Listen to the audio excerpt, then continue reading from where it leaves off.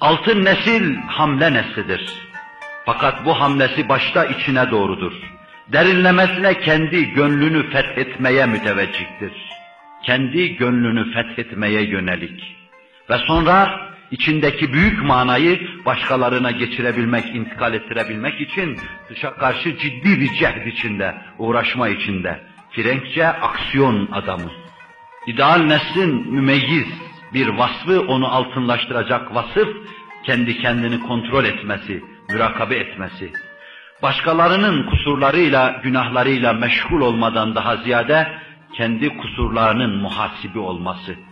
Ve bu alem kapanmadan, aylar, güneşler sönüp gitmeden, Allah kudret ve iradesiyle yazdığı bu kitabı kapamadan, tertemiz defterini kapayıp Mevla'nın gel diyeceği anı intizar etmesi altın neslin vasıflarından birisidir.